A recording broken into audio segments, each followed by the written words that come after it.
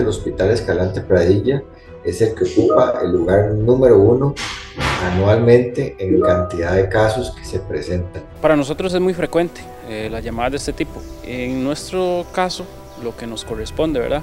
Es cuando hay amenaza a la vida. Valle General, Cotobruz, Buenos Aires, tenemos de todas esas 140 especies, tenemos aproximadamente 12 que son eh, serpientes con algún tipo de sustancia que podría ser letal para los seres humanos. Mordeduras de serpientes en la región Brunca. El Hospital Fernando Escalante Pradilla, aquí en Pérez Celedón, encabeza la lista a nivel nacional de atenciones por año de mordeduras de serpientes. Nosotros recibimos entre 40 y hasta 70 casos al año y la mayoría de los casos que se presentan son en personas en edad joven y adultos jóvenes y eh, muchos de ellos son productos de un riesgo laboral. Podrían ser eh, agricultores, eh, pero también pueden ser personas simplemente que están en tránsito, ¿verdad? pueden ser turistas, puede ser algún estudiante, incluso la terciopelo es la protagonista del 50% de los ataques que se presentan al año en nuestro país. Estas terciopelos, el, detalle con ellas es que eh, están entre las más venenosas de Costa Rica. Eh, no es la más venenosa, pero sí es eh, sin duda alguna la más agresiva de las que tenemos en nuestro país y acá en la zona sur. Entonces, como quien dice, en la primera, en el primer momento en que ellas se sientan de alguna forma eh, alteradas o, que sientan que están afectadas, de una vez ellas eh, muerden. El número uno en cantidad de casos en todo el país es la Botrus asper, que es la famosísima terciopelo, que es la que produce la gran mayoría de las mordeduras. No obstante, en nuestra región no es la única y sí tenemos muchos otros tipos de serpientes venenosas que con mucha frecuencia muerden también. La terciopelo es la primera ¿Y cuál es la segunda serpiente que más ataca en la región sur? Las personas le conocen con el nombre de mano de piedra. Esta, esta eh, serpiente eh, es un color como cafezusco, eh, es, muy pequeña y por eso las personas tienden como a confiarse un poco en ellas. Entonces eso es como la segunda más que más accidentes puede ocasionar. En este 2023, en lo que llevamos de este año, 10 atenciones por ataques de serpientes se reportan aquí en el Hospital Escalante Pradilla en Pérez Celedón. De esas 10 atenciones en el Hospital Generaleño, 8 corresponden a hombres y 2 mujeres. Hombres de 30 a 34 años se reportan 4 en este 2023, 35 a 39 años 2, 40 a 44 años 1 y mayor de 65 años 1. En mujeres, una de 15 a 19 años y otra entre 40 y 44 años. El mayor número de casos ocurre en las extremidades, sea superiores o inferiores. Y digo afortunadamente porque si bien es cierto, estos pacientes a veces tienen una morbilidad importante, es decir, producen lesiones físicas importantes, eh, suelen tener menos mortalidad que en otras áreas donde es todavía menos frecuente. Pero sí, efectivamente en los pies, debido a que la gente maja las serpientes y o en las manos, debido a que cuando a veces están trabajando eh, o meten la mano en, por ejemplo, cuando están cogiendo café y algunas de las serpientes están metidas dentro de la, de la planta con la que ellos están recolectando el fruto. Las emergencias con serpientes también se ratifica en los datos que maneja el Cuerpo de Bomberos en la región Brunca de Costa Rica.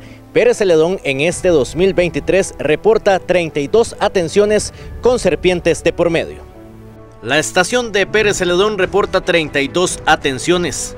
Golfito 10, Puerto Jiménez 9, San Vito y Ciudad Neily 7, Buenos Aires 4 y Palmar Norte 3. Requieren eh, de equipos especiales y de equipo personal, ¿verdad? Para, depende de la ubicación o topografía donde se encuentren, si vamos a requerir de algún equipo especial, que es con lo que nosotros contamos, ¿verdad?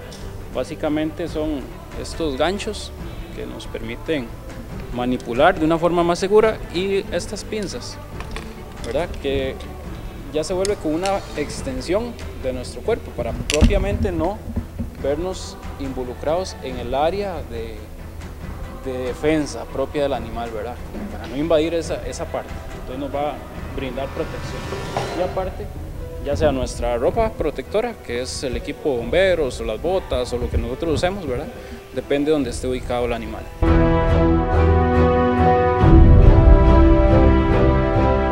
En Costa Rica, la posibilidad de desarrollar un caso grave ronda entre el 1 y el 3% de los pacientes y la mortalidad ronda en alrededor del 1%. Eh, se dice que en Costa Rica hay entre 500 y 600 casos cada año. Si consideramos que el 1% fallece, podríamos decir que 5 o 6 pacientes cada año son los que tienen riesgo de fallecer. Por ejemplo, las terciopelos, la matabuey, eh, la mano de piedra que mencioné. Esas serpientes, si ustedes las, las ve, las observan en la cabeza desde la parte superior, eh, ve una cabeza con una forma triangular. Esa es una forma, una característica de, identificar si una especie es venenosa o venenosa. Entonces tendrías que verla como desde la parte superior y observar ese patrón triangular. Y muy importante en este trabajo, las recomendaciones cuando son víctimas de un ataque de serpiente. Movilizar lo menos posible al paciente. ¿Qué quiero decir con esto? Que si digamos una persona eh, fue mordido en una extremidad inferior, en el pie, en la pierna y demás, tratar de trasladarlo al centro médico eh, con la movilidad menos posible de esa extremidad y tranquilizar mucho al paciente. ¿Qué es lo que queremos con esto? Que el ritmo cardíaco de ese paciente eh, sea estable, que baje. Acudir a un centro médico el más cercano posible eh, y ponerse en contacto con, con, las autoridades, en este caso en los números de emergencia que ya están predestinados. No, no recomiendo a nadie tomar bajo ninguna prescripción médica. Hace muchos años eh, se, se, hacían, eh, por ejemplo, los famosos torniquetes y eh, se hacían algún tipo de mordedura, o se trataba de succionar con la boca el veneno de la, de serpiente y eso más bien lo que tiende es a ocasionar que, que la herida, la infectación, hayan bacterias y al final cuando el paciente llega ante un centro médico el cuadro se puede complicar mucho más de lo que ya es. Uno, mantener la calma, ¿verdad? Porque el agitarnos, el ponernos nerviosos o empezar a correr o para, no sé, este, va a hacer que la sangre o el sistema circulatorio empiece a bombear más rápido.